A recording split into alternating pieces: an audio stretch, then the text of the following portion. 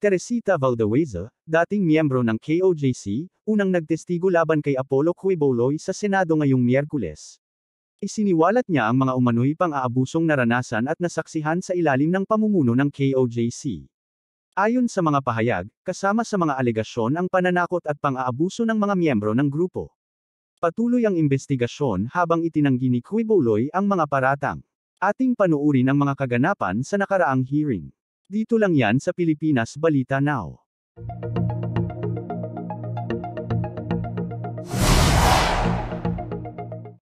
Good morning po, Madam Chair, Honorable Senator Riza Hontiveros, and to Honorable Senator Francisco Tolentino, and to all the members of this august body. I come here today to share the truth that has been silenced for three decades because of great fear, and this is also on behalf of the many victims who have suffered in silence just like I have. I believe my testimony reflects their pain, struggles, and resilience. While I understand that this is aimed to aid in legislation, I am also grateful to be given this opportunity to inform those who still believe that Apollo Kiboloy has been innocent of the crimes he is accused of because he has never been. At the age of 17, I became a member of the church led by this man, Apollo Kiboloy, in 1918. I was a freshman student. I was eager and active in the community, even spending a significant portion of my college years living at the parsonage where he resided. In 1988, I made a difficult decision of my life to dedicate this to his ministry, driven by the belief that true fulfillment and salvation lay in serving God fully. This choice meant leaving behind my family, my career, and the persons and the person I once was. Despite the resistance of family and friends, I pursued my conviction. I joined a pioneering group that struggled to meet basic needs, but my desire to serve God fueled my persistence. Over time, I gained his trust and became a respected worker within the ministry. As the ministry grew, so did our blessings. We experienced answered prayers and expanding membership, which deepened our commitment to serving God. Apollo C. Whom I revered, was considered as God anointed, and his words held absolute authority. I respected him deeply, viewing him as truly the man of God. From the moment I dedicated my life to the ministry until 1993, I experienced a profound spiritual awakenings. I felt forgiven. My love for God deepened. And I was proud to serve alongside a man I believed to be holy. But one day while in Manila, I received a long distance call from him. He informed me that he had received a divine revelation intended for me and instructed me to travel to Cebu, where he would share this important message. He was also scheduled to preach in Cebu that Sunday. Upon arriving in Cebu City, we arranged for him to stay at the Park Place Hotel in Fuente Osmeña. That evening, he instructed me to remain in the hotel while Nilda Linda, the assigned worker, returned to the worker's house. When we were alone, I asked if I could just sleep on the sofa as it was a suite room. Instead, he insisted that I would sleep beside him and even said in Bisaya, said in Bisaya, compatible gyud taging kay parehas man og color atong suot. Translated, we are compatible because our outfits were of the same colors. I was wearing red pajamas with white dots while he was dressed in a red t-shirt and white pajama, pa- white pants coincidentally. His words made me feel uneasy and quite nervous, and I saw a different personality in him.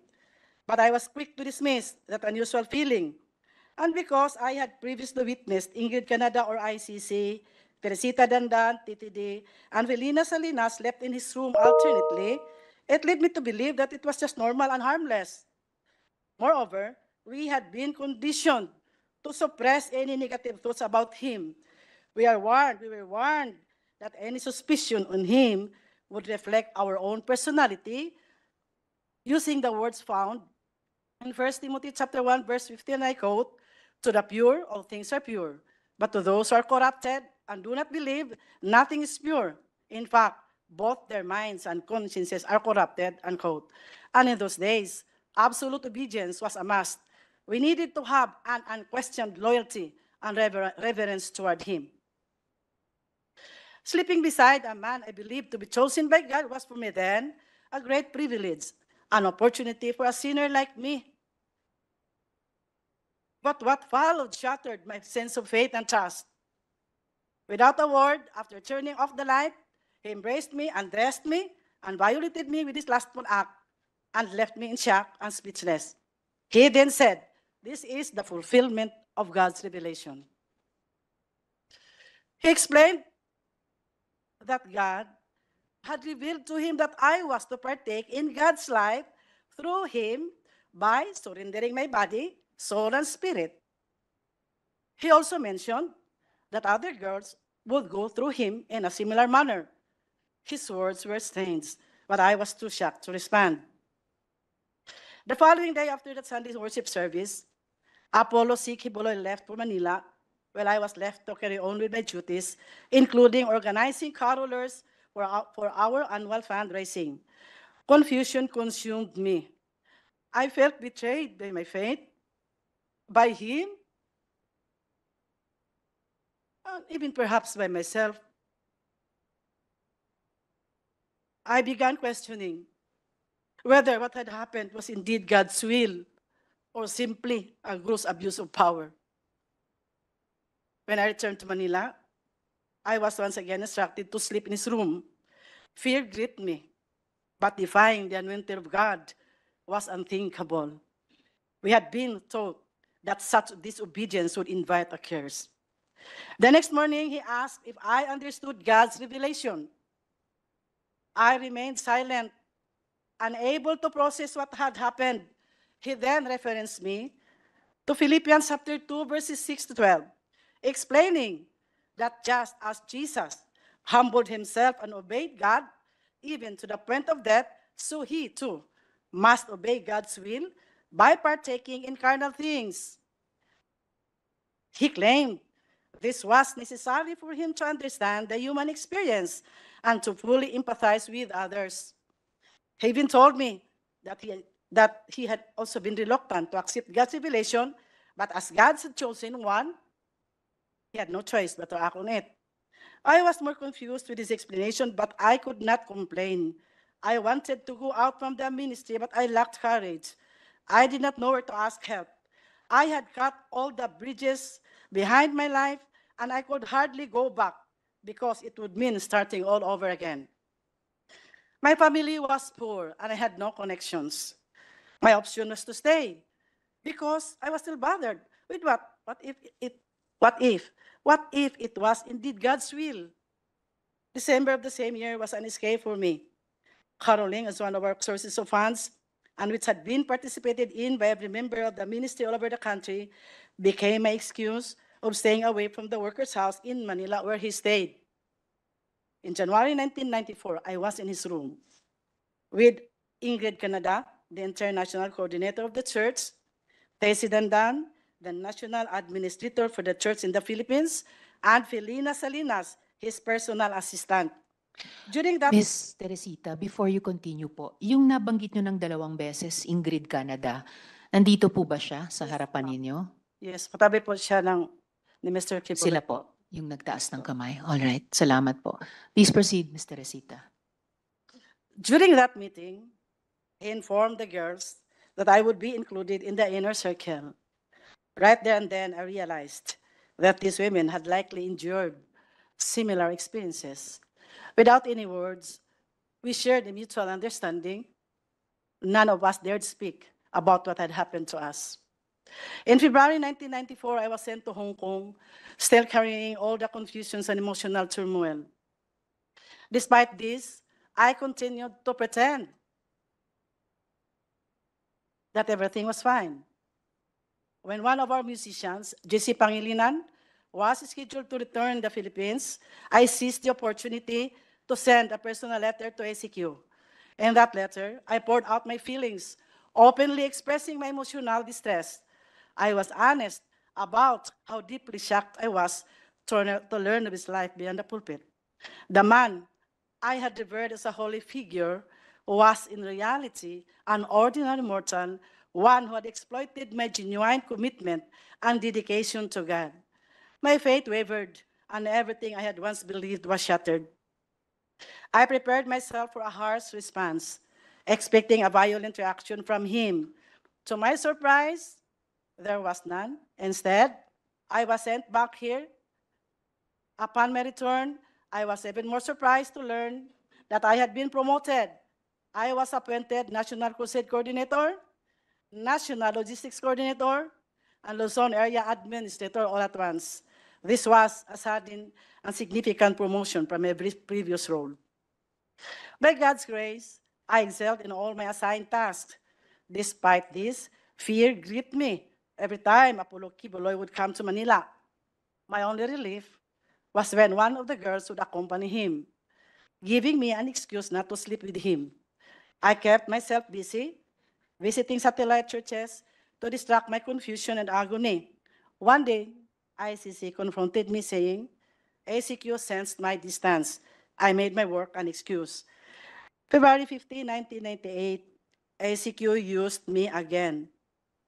It was always out of fear that I obeyed, a fear mixed with anxiety that he might knew how I pretended to be extremely grateful that he allowed me to be a part of his physical life because in all in all honesty and God truly knew I was not. All the pent up emotions suffocated me that on the following day, while preparing for church, I collapsed. ACQ performed mouth to mouth resuscitation, but later I learned, he told others, that it was just a way for me to seduce him labeling me as Jezebel the temptress. I believe Apollo Carrion Kibuloy understood that I never wanted the life he was trying to impose on me. My decision to dedicate my life to God's service was driven by a sincere desire for spiritual purification from the sins I had committed before becoming a full-time worker.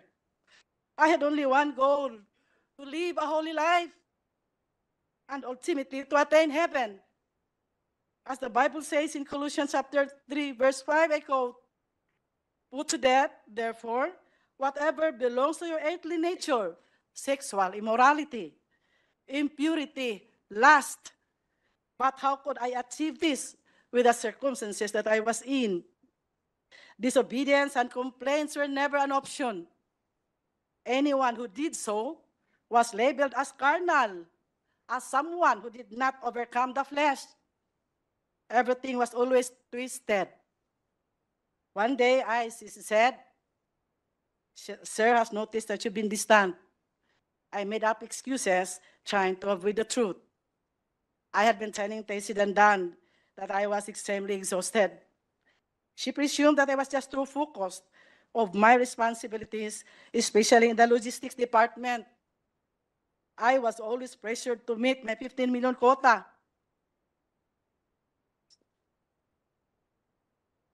Every December on caroling season, if ever the sense that there was really something wrong with my belief, I was instructed to prepare my documents for my USA visa, and I believe realization came later when I already left his group that it was also to distance me from the workers and members here that I might be able to tell his dark secret. I never wanted to go to America because inside of me were unresolved spiritual issues, confused mind that bothered me always, always. But my visa was approved. I didn't know that I was to lead and plan for the fundraising to be done in America, and we would employ the same strategy of our money making here in the country.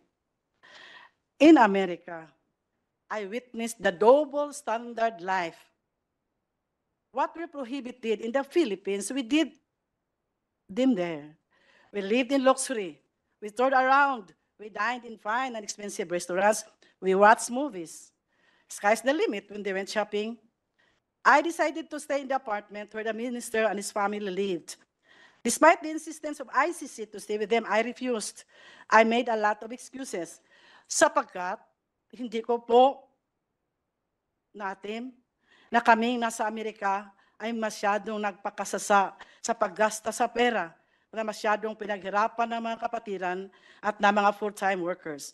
Bilang namuno po sa Crusades, Evangelism at Logistics Departments, saksi po ako kung paano nagsakripisyo ang bawat isa para lang makapagbigay sa iba't ibang pangangailangan sa simbahan.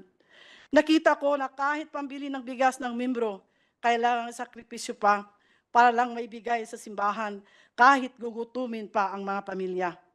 Nasaksipahan ko po na kahit last centavo para pamasahi, kailangang ibigay pa rin. Bahala nang maglakad papuntang simbahan ang mga mahihirap na membro. Hindi kinaya ng aking konsensya ang double standard life. Maraming workers ang napalo dahil sa panunood na ng sine, pero kami sa Amerika, halos linggo-linggo nanood ng sine, bawal sa amin ito dati. Naghirap ang maraming workers at members sa pagkaruling at pagsulisit sa bawat tao sa lahat ng dako dito sa ating bansa. May namatay, may na-aksidente, may nakulong, may mga na-rape pa na hindi na na-report. Dahil baka hindi paniwalaan at baka makapag-fasting pa dahil may kasalanan na itinago, kaya napahintulutang nangyari. Lahat may kota, di ba? Napakasakit po sa damdamin ko dahil ako po ang namuno sa mga fundraisings. After December season, ang mga members kailangang magtinda ng mga kakanin para may maibigay sa mga pledges for Alay kay Kristo, building funds, love offerings, television pledges, tithes, and others. And when they could not provide for their own foods, they would just resort to fasting. Meron din pa akong kota, 10 to 15 million pesos to raise in the month of December alone. I organized the carolers nationwide to meet my quota. We recruited and trafficked our young people from Mindanao and Visayas to carol in the provinces of Luzon and in the national capital region cities. Marami pong estudyante na Nobyembre pa lang kailangan nang mag-absent sa paralan at ang iba hindi na nakabalik sa pag-aaral dahil inuna ang simbahan, inuna ang pagkaroling, inuna ang paghanap ng pera. But nobody questioned where our income was spent. Sa mga buwan ng Pebrero hanggang Oktubre, ang ibang workers na nasa logistics department, kailangan mag-solicit na naman throughout the country using the permits of the different associations. Pag-asa ng buhay, Children's Way Foundation, tulong sa may kapansanan, handog ng pagmamahal, pagdamay sa dukha, Shivers for Christ. The supposed income na dapat ibigay sa mga beneficiaries sa mga nasabing associations, hindi naman talaga truthfully and honestly na ibigay. Only a little portion of the income was shared to the beneficiaries. Ang ibang workers naman, walang hinto sa pagtinda rin ng mga kakanin na may kota of 500 to 1,000 pesos a day, Monday to Saturday. Ito ang buhay ng mga workers na nasa logistics department. In America, they began to notice, my indifference. ICC called my attention, stating there were reports from my assistant in the logistics department in Manila that I had secretly sent money to my family. Then she informed me that ministers wrote letters to ACQ and reported that I tempted and fornicated with them during my visits to their satellite churches. I was so shocked to learn of the sudden accusations. I also wrote a letter and enumerated the real circumstances of my life with all the ministers I came in contact with in relation to our aggressive fundraising, being the National Logistics Coordinator. However, that was not enough. I was then forced to write a long letter of confession, making it appear that I was a sinner who committed all kinds of sins, including those I had committed before joining the ministry. I complied, believing that through this written confession, I would be totally forgiven from my old sins and burdens and be completely sanctified. In detail, I wrote everything I thought was considered sin I had committed from childhood until the present. I also implicated ACQ in my sins. It had the same tenor of the letter I wrote in Hong Kong in 1994. And this time, he was furious. Then ICC instructed me to revise my letter. I was told not to implicate ACQ and to state that I was the sole sinner and I was filthy. Upon realizing how angry ACQ was, I revised my letter out of fear and stated that I had sinned because I truly was filthy. In detail, I imagined sins Ms. Teresita, yung paulit-ulit yung binabanggit na ICC, ICC, sino po yun? Ingrid Chavez Canada. po. Sila pa rin po. All right. Uh, please proceed. In detail, I imagined sins and I made it appear that I had committed them all. That was how stupid I was to obey and exaggerate my story. Just to appease the anger of our leader, Apollo C. Kibuloy, not knowing it would become my death sentence later. My exaggerated story was then distributed to all his leaders and ministers, and they believed I was filthy, I was pervert, and I was wicked, painting me as the sole guilty party, while ACQ remained, remained innocent. Little did I know this confession would lead to my condemnation within the ministry. And Ms. Teresita, pag sinasabi nyo ACQ, sino po yun? Apollo Carion Kibuloy po, All right. October 15, 1998, I was sent back here to receive a punishment through prayer and fasting in the guise of spiritual discipline. And the fasting they planned for me was beyond my imagination. It took me seven months to suffer hunger and isolation in the mountain of Tamayong in Kalinan, Davao City. They placed me in a small, dark, elevated room beside a kitchen, separated only by a macan walls. My bed was rough, made of uneven slabs, with exposed nails pressing into my back as I slept. I woke up this morning in pain, with no beddings, and the cold October nights left me shivering. I requested a blanket and a mat, but I was denied. Every day from 8 to 5 p.m., I followed a strict routine, regardless of the weather, enduring hunger and isolation. No one allowed near me, as I was labeled filthy and deserving of this punishment. Members were forbidden to speak to me. I was physically very weak and so depressed, depressed. I prayed that God would just take my life. Ilang beses po ako nanalangin na sana kunin na lang ng Panginoon. I started to question God and wondered if this was truly a divine process or simply human punishment. I asked myself, is this ACQ's way of retaliating because I rejected the life he imposed on me? It felt like vengeance and disguised as spiritual discipline. My only solace came from reading the Word of God from Genesis to Revelation over and over again. Every day was a struggle of faith. I struggled to believe that the process was still the perfect will of God for me.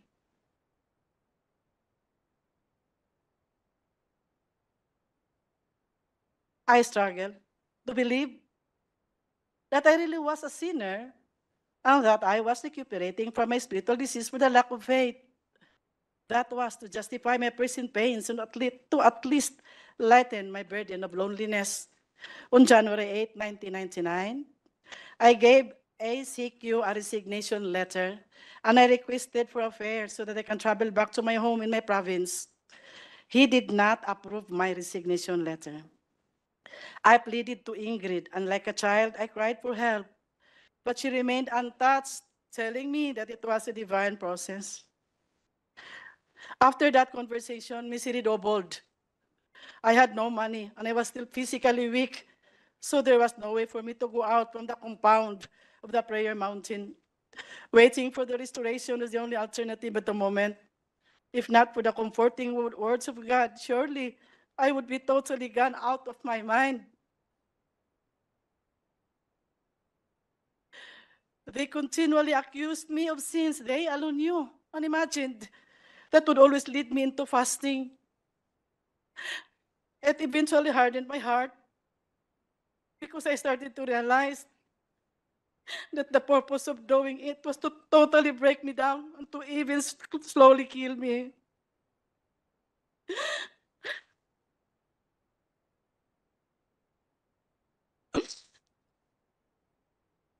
I no longer saw the reason to stay. I submitted my resignation as a full-time volunteer worker for the second time. But Apollo Carion Kibuloy refused it again. A week later, on September 30, 1999, I decided to leave without asking for permission, determined to free myself from his control. It was only when I left of the group, out of the group, that I fi- finally clearly understood that the man I had believed to be God's chosen and holy was an impostor, oppressor, and deceiver. He manipulated me using his authority and power as God's anointed.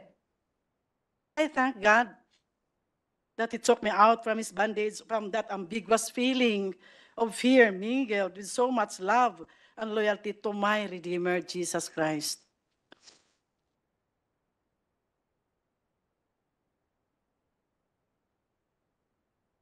But he was not finished with me and did not stop terrorizing me. Alex Camia, his personal bodyguard, a full-time worker, once known to be a champion in gun shooting before he joined the group of ACQ, together with his team, kept coming to my place to harass me, serving a fake warrant of arrest to a minister who stayed in my house. This minister settled in my place after he was gunned down in Davao City but survived. The team of Alice Camilla was apprehended, and when investigated, they had several firearms in the car, several plate numbers, and there was also a red plate. The registered owner of the car was Apollo C. Kibuloy. Because of their failure to serve the warrant of arrest, they blamed me for hiding the minister and filed cases against me of obstructing justice and grave misconduct and an act unbecoming a public official. After that incident, I heard that Alex Camia was the suspect of the murder of an ex-worker who was shot down inside his home, and this ex-worker did not survive. I was scared to death when I heard this news. My option was to remain silent because killing could have actually happened when Camia and his group came to my place. There was also an ex-worker, Elsa Bolivar, who was a senior citizen, a woman shot dead while she was in her garden, garden in Tagum City. I was so hysterical when pictures of her bullet-ridden body were sent to me because she had just visited me in my place before it happened. Fear consumed me and I remained silent. Three years ago, nagkausap po kami ni Alex Camia. Humingi po siya ng kapatawaran at nagsabi na siya ay nautusan lang po na kailangan din akong iligpit. Pinaniwala po siya na ako ay may malaking kasalanan at ako ay napakasamang babae.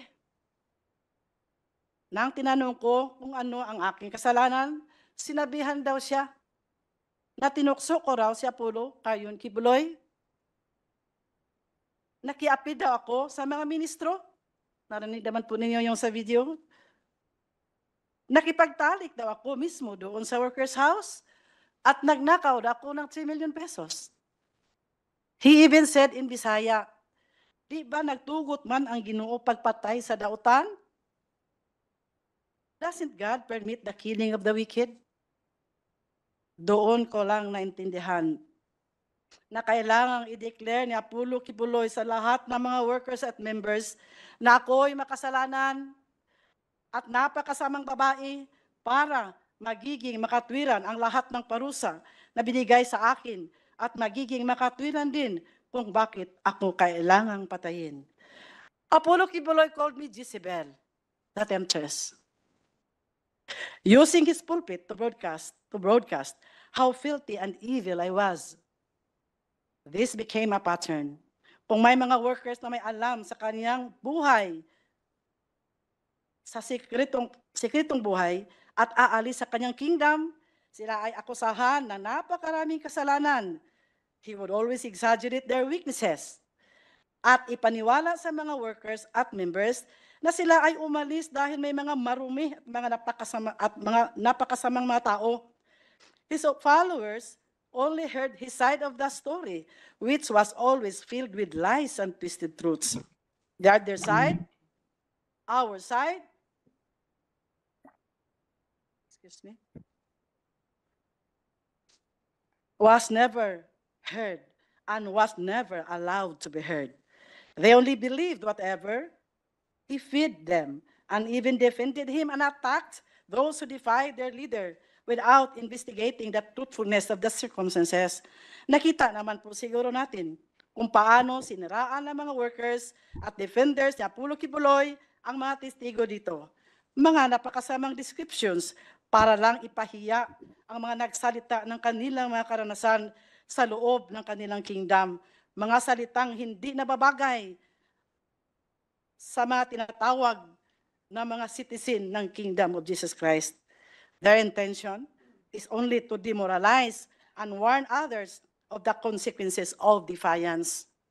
Last August 2021, during one of his television programs, he once again maligned me, broadcasting nationally and internationally that I was a fornicator and an immoral woman, which we have just watched.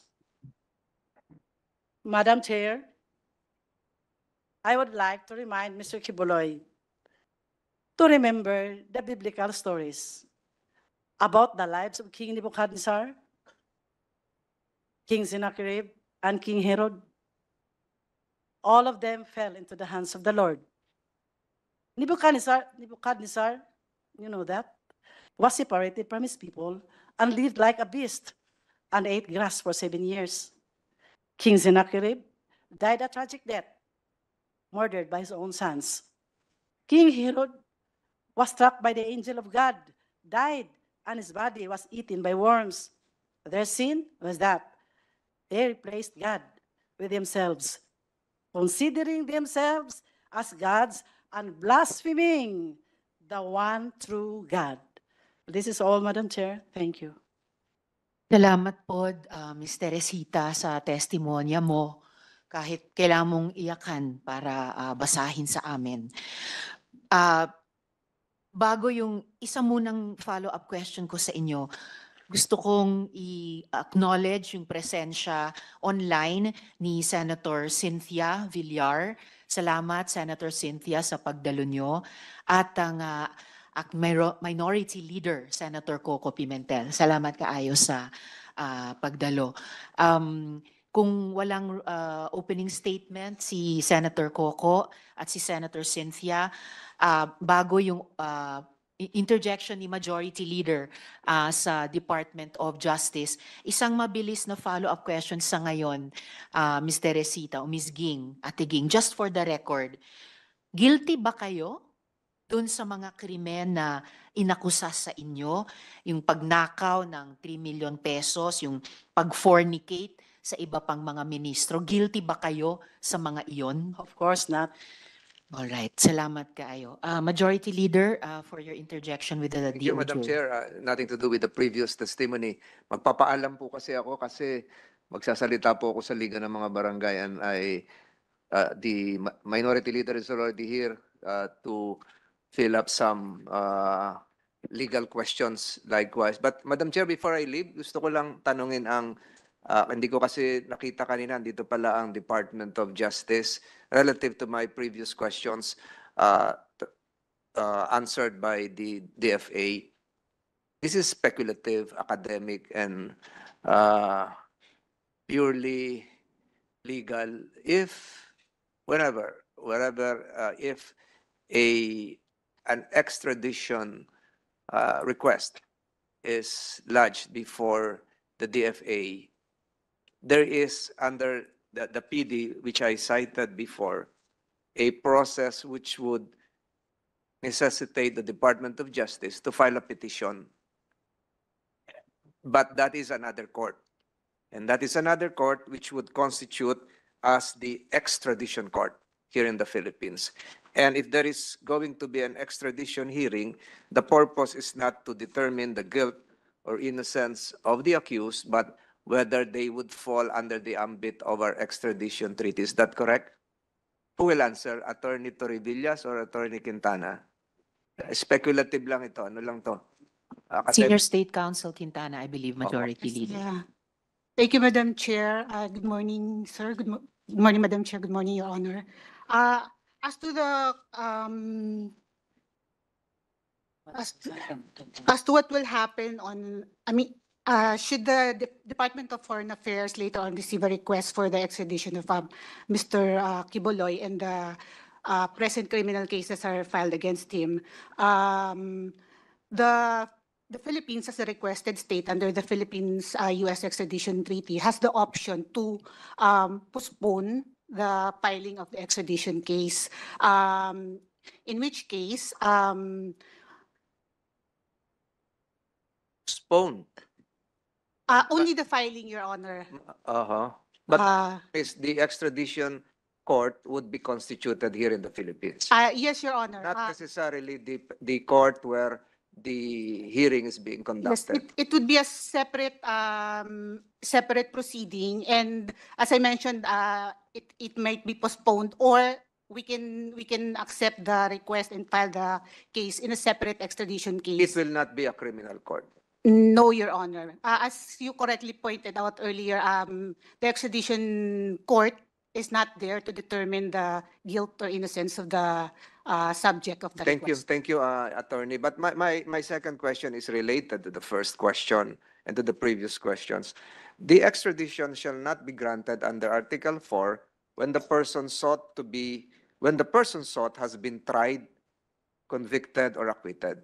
Tama po ba yon? So may, pag may pending case na rito at mabilis yung proseso, conviction or acquittal, hindi na siya pwedeng eh, i-extradite. Is that correct? Um, Your Honor, um, under Article four, uh, that may be a ground for refusal of the request for extradition, but, uh, that, in that case, uh, so Your, Your Honor, ang ano po dun parang, uh, uh, in effect, parang double jeopardy. But in this instance po, um, there is no double jeopardy kasi po yung, saying double jeopardy. Uh, one of the grounds for refusal would be when there has been a trial, conviction, or acquittal that's explicitly stated under Article 4 prior prosecution. Double dou- jeopardy, jeopardy will not apply because of the concept of dual sovereignty. Am I correct? yes, Your Honor. So, mas ang, ang tanong ko, mas makakabuti ba na mas mabilis ang trial sa Pasig which would result in either conviction or acquittal dahil hindi na pwedeng ma- ma-extradite? Um, sir, it, it, it's independent of the request for extradition. So regardless if the, if the criminal cases uh, are terminated, uh, I mean, are expedited, it will not affect the extradition request. Siguro, aralin niyo mabuti itong Section 1 ng Article 4. Parang very explicit naman ito. Uh, you still have time. Number three question, I learned that the, correct me if I'm wrong, and I'm sure you're following this through news accounts, that the Department of Justice of the United States dismissed the charges against a certain Miss Dueñas. Dueñas, uh, tama po ba yon? Ye- Yes, yes, Your Honor. Yes, and this was just a few weeks ago, Last week, Your Honor, last week. October 7. So, ang tanong ko rito, and this will probably be uh, a lingering question, what would be the effect of the dismissal of the US cases against, is, is uh, Dueñas a miss or a, a male? Ano ba yan? Female? She? Female. Female, What would be the effect of the dismissal of the US cases against Miss uh, Dueñas to the pending cases of uh, Pastor Kibuloy in the Philippines? Since some of the elements would be the same. Uh, Your Honor, if I may defer, defer to uh, Prosecutor Torrevillas. Torre, please. Deputy State Prosecutor Torrevillas, please. Uh, Good morning, Madam Chair. Good morning, Senator Tolentino. Uh, It will not affect the cases pending against Pastor Kibuloy, considering that uh, Ms. Dueñas is not one of the accused in those cases. Oh, One, one of the accused in cases pending before the Regional Trial Court here in Pasig or, or in, in the United States uh, uh, Department of Justice. San po? San jurisdiction? Uh, Before the Regional Trial Court of Pasig and Quezon City, Mr. uh, Mr. Senator. So it won't affect. Yes. But the, the there is uh, an, an, an, a, an interrelationship between the elements involved in the US cases uh, and the Philippine cases. Tama po ba yan? And probably, I'm, I'm not, I'm I- not I- uh, jumping the gun on what uh, the defense counsels were doing. So walang effect. As, as I've said, this is just speculative. It will not affect uh, the cases pending before the Regional Trial Court of Quezon City and the Regional Trial Court of Pasig because uh, Ms. Dueñas is not one of the accused, neither she one of the uh, witnesses for the prosecution. But uh, some of the defendants uh, in the case pending before the U.S. Department of Justice are likewise defendants, here- are accused here in the Philippines. And I understand there would be a second hearing come May, come May 20 uh, before the U.S. Department of Justice. Tama po ba yan? Uh, I am not aware of that. Okay. So paano naman kung yun ang magkaroon ng ibang desisyon while pending dito sa sa Pasig and Quezon City yung ibang kaso? Any speculative answer? O kung wala, mahirap na It, it siguro. has no connection at all connection because, at all. opo. Different jurisdictions, different elements. Again, Madam Chair, maraming salamat po sa pagbibigay sa akin ng pagkakataong ah, makapagsalita. I reiterate again ah, my earlier statements that respect and dignity should permeate the entire proceedings today. And I hope uh, that the dignity of the Senate through this committee will be enshrined, uh, Madam Chair. Maraming salamat po sa pagkakataong ito at maraming salamat sa mga resource persons natin na dumalo. Magandang umaga po sa inyo lahat. Dagang salamat. Maraming salamat din po, Majority Leader, and of course, the Chair and the whole committee ay nakikiisa dun sa patuloy na pagtaguyod ng respeto at dignidad ng Senado ah, at ng Senado para sa lahat ng ah, lumalahok dito sa ating mga pagdinig. So, balikan po natin si Ms. Teresita, si Ate Ging, mga patuloy po na ah, follow-up questions ko sa inyong ah, testimonya kanina. So, ah batay po pa rin po dun sa testimonyang binasa nyo kanina. Anong taon nga po kayo sinimulang abusuhin ah, ayon sa inyong testimony at alaala? It was in October of 1993. October of 1993. So, 31, uh, Years ago. 31 years ago po. Yes po. Alright. ah tapos ulitin ko lang po yung nabalitaan kong fasting o dry fast. So, hindi kayo pinakain, hindi kayo pinainom ng tubig. Ah, ilang araw nga po ba ginawa ito sa inyo? At wala po bang kasamahan ninyo doon na sinubukang tulungan kayo? Of course, nobody would ever dare help me because upon instruction na hindi nga ako ipa, and they did not even allow, they were not even allowed to talk to me, not nor even to come near to me. So actually, there were two sets of fasting um, given to me. One set was, there was straight 10 days fasting. There was no food, no water. Uh, it was Ninit Ukyas who gave me the list of instruction, and number one in the list is to do dry fast for the for straight 10 days. Sino po nagbigay ng instruction? Ninit Okyas. Nenet Okyas. Yeah. Okay po. And then I only was able to eat a little amount of rice and viand on the 39th day because when you had when you have fast you had fasted hindi naman kailangan kakain ka agad. So there was water, then am, then lugaw, And then finally, on the 39th day, that was the time I was able to eat rice. And then after that, there was that second round of fasting, which was even more miserable. It started on February 6, 1999, and there were other workers also. And that's, that was very miserable because it was like this. We were given five days or sometimes seven days. It was a kind of a, a series of fasting. The first, second, third days were for dry fasting, meaning you cannot, you were not allowed to drink, of course, to eat food, dry foods.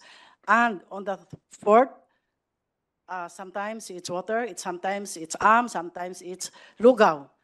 Then another five days, the same pattern. Sometimes became seven. It ended on the May, May uh, it ended on the month of May because I have my diary on that. So yung pangalawang dry fasting, tatlong buwan na may iba't ibang klasing fasting for five days or seven days, one to three days na dry fasting, Yes. on the fourth day may tubig o yung am, yung am yung pinakuluan ng sinaing, di ba? Yung And pinapainom ng mga lolo't lola natin sa mga baby nung panahon ng World yung- War II. Yung sabaw ng ano po. Sabaw. lugaw. sabaw, ah, sabaw ng lugaw Yes po. or, or lugaw. So over three months, may ganitong series ng mga iba't ibang klase ng dry fasting. Yes po. But I was together with other workers also because they, they were also punished, but I was the longest. I stayed there for the longest, uh, three, three months. And yung una pong dry fast, yung unang set ng dry, pagpapadry fast sa inyo na sampung araw, walang pagkain, walang, walang tubig. Sampung araw na walang tubig at sampung araw na walang pagkain? Yes po, that's true. Paano niyo po na-survive yun? I did not even think I would survive Opo. because of course it, the, the place is cold, was cold. And then every time in the morning when I took a bath, so parang doon ko na lang nara- na, nalalasap yung tubig.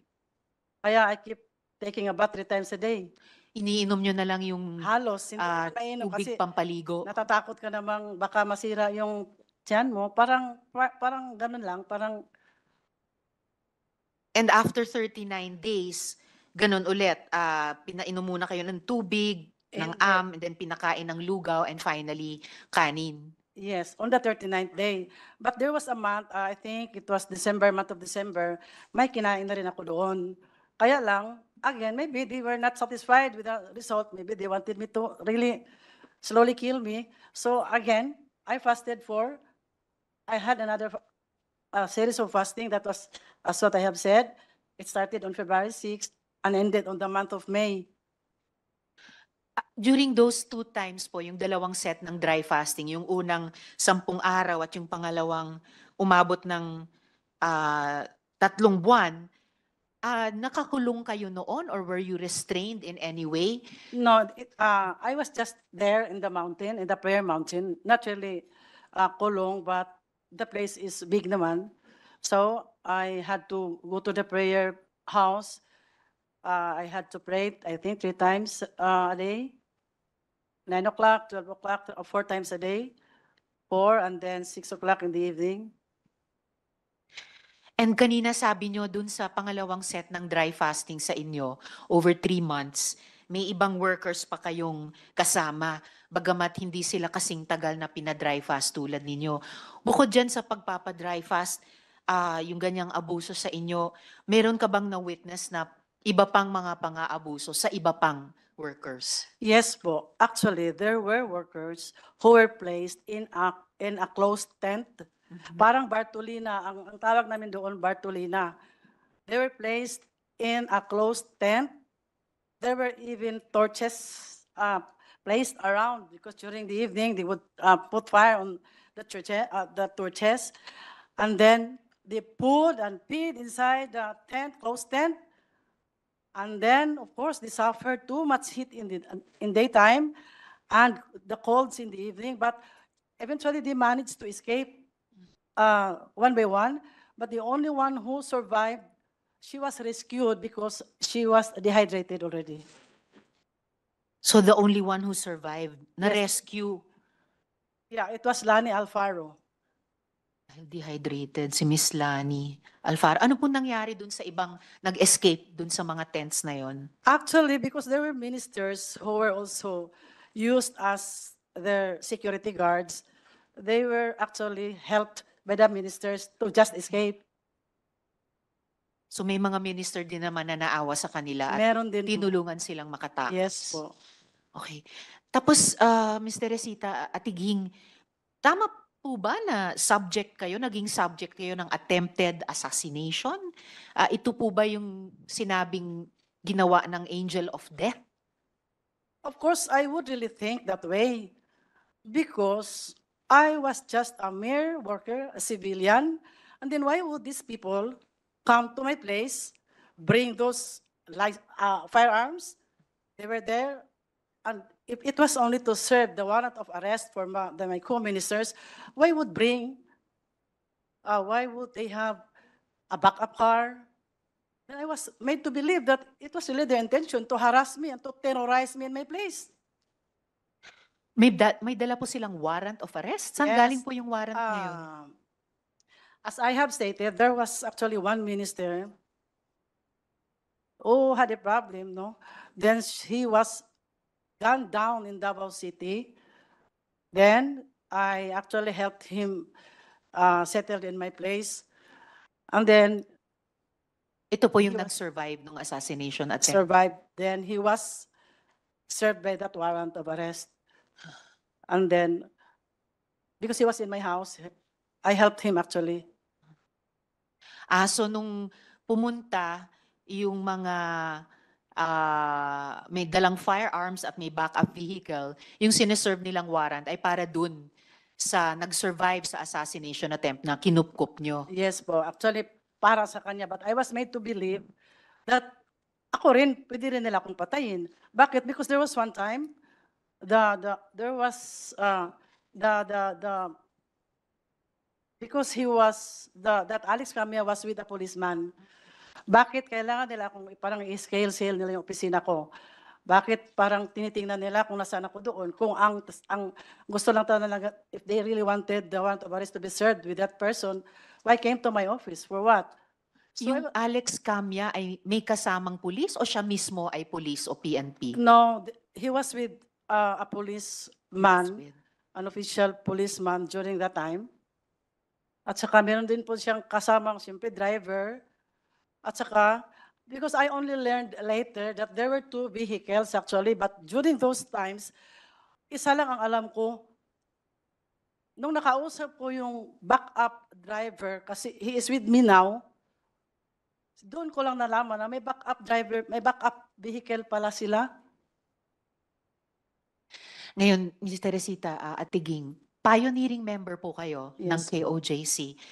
Ah, alam nyo rin po ba yung business model ah, ng fundraising ninyo at paano ito nagsimula? Sinabanggit nyo naging head kayo ng logistics, kayo po nag-organize ng mga caroling, yung mga solicitation. Ah, paano po yan nagsimula at anong ah, anong alam niyo dun sa kabuang business model? Yes po, the, the, the caroling, uh, caroling really had become, or maybe has even until now become, one of the sources of funds in the ministry. In 1988, I was able to join here in Manila, and we were only caroling the cities, uh, within the cities of the NCR. But when I led, when I was given the opportunity to lead the fundraising, I made it nationwide. I actually organized the nationwide caroling, Madam Chair. Then what happened? I, uh, I had, uh, every province, I had leaders overseeing 70 to 100 uh, carolers, including uh, adults who would be cooking and washing their clothes.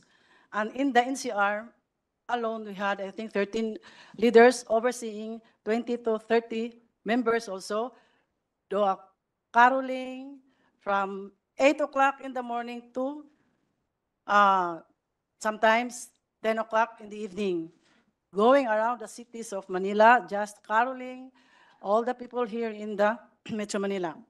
Then, because I had a quota of, I start, it started with 10 million until it became uh, 15 million. Of course, they also had a quota. I also gave them the quota to meet my total quota of 15 million. So, sa bawat probinsya, ah, nung ginawa nyo ng nationwide yung caroling, di na lang sa NCR, may isa kayong leader na bawat isa may 17 to 100 carolers.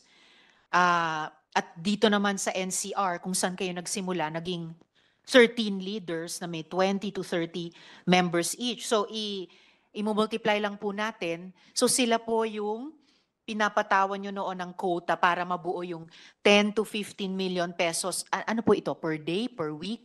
No, that's one month of 15 uh, per month. Yep, yes. Per month.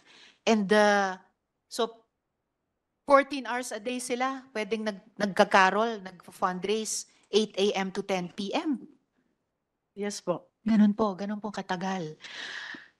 Alright. Uh, dagang salamat, Ms. Teresita Atiging. Please stay on sa hearing natin dahil yung mga kas- kasama kong senador, mga kauban ko, including our minority leader, may have que- questions for you. Yes, right now. You have the floor, Senator Sige, Coco. ah, Ma'am Ging, no? So, dito lang ako nababahala sa sinabi mo na dry fasting, Yes two po. times ang ang experiences mo. And sa experience mo, it was a form of punishment. Very much a form of punishment. But it was actually a disguise like a spiritual discipline on me. Okay, but Because this, with- disip- pero it was presented still as a disciplinary measure. Yes Okay. po. But uh, have you seen dry fasting as a form of a ritual or not as a form of a punishment? Is it also practiced there? Actually, there were two meanings, no? Of course, when we were, uh, we were instructed to do dry fasting, we would always consider it as our sanctification, as our uh, cleansing on us, because we will always, we would always believe that we were, because we we were always made to believe that we were sinners, and we, we do accept that we were sinners, so we had to go through fasting. Na in, in the two particular, nag, sa mention mo kasi dalawa, ang particular po. cases, hindi ko na matandaan yung mga months. Pero in your particular case, punishment. At first, I did not consider it as punishment. Na wag yung consider, how was it presented to you? You have to undergo dry fasting as a punishment? Spiritual discipline on the first, Oh. talaga spiritual Kung, di, discipline. kung andun yung discipline, punishment. Di ba? Okay. Yung Yes. pangalawa, Yes po. wa- yung pangalawa, was it what? A fun- punishment also yung pangalawa? mas lalong punishment on the second round. Maybe Okay. because they saw me alive still and still kicking. Uh, it was not their intention to really see me alive. Okay. That's why I had my sec- second series of fasting. But sa observation mo, tagal ka dyan sa kingdom eh, meron, uh, you, you also undergo fasting as a part of a ritual, not as a punishment. Tama? Tama? Yes, there were many times. As severe as dry fasting? No, that, mine was the, the, actually was the worst. Yun yung mga fasting na alam natin, yung babawasan po. mo lang yung Yes quantity ng kakainin mo, siguro ganun, ano? Yes, Y- yun ba yung meaning ng, yun yung sa ritual? yes, Okay. ritual. Ngayon sa karanasan mo, ikaw kasi obviously nag-survive ka nung dry fasting mo as punishment eh. Saka sa personal knowledge mo, meron kayong kasama sa KOJC na nag-suffer ng masamang consequence as a result of dry fasting as a form of punishment? Wala naman akong Wala kang alam alam. because I left 1993, pa- 1999, ah, 1999 you pa left po. eh. 1993? Ah, when did you leave? 1999 pa po. Ah, 1999. Ah, sige po. Oh, pero sabi mo, founding member ka, so... ah, pero wala kayong nakita pala. Okay. Sa, sa, So far, wala.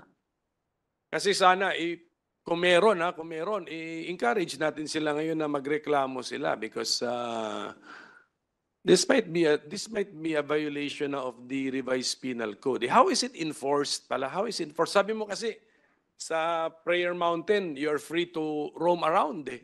Pwede kang gumalaw. So, paano kung super gutom ka na? You, can you cheat? Uh, can you cheat on the dry fast, fasting punishment? Um, we were tempted to do that, but Mhm. because we were so afraid, baka madagdagan pa yung araw pag malaman. Okay, ah meron kang kinikwento na hin- although hindi ikaw yung involved, sabi mo lang na may, ma- may close tent, may mga ganon.